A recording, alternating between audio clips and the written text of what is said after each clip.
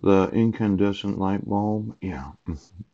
You know, having seen what I've seen, I always thought that its actual mm, being legislated as an obligation to use it was so that the internet could saturate the individual. Yes.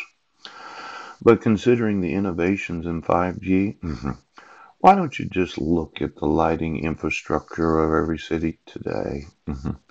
Now, it would be very deceitful on the part of those that manufacture cell phones, yes, that manufacture the 5G, yeah, that sell the lighting infrastructure, right, to know of the influence of light on 5G. Poop.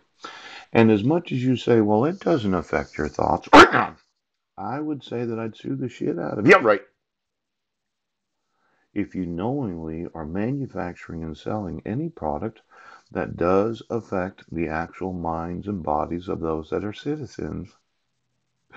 Now, why don't we get the 5G and we'll just get a few of these um, light stands, the, the light posts? Yes. we'll put them in a, a laboratory. Pooch!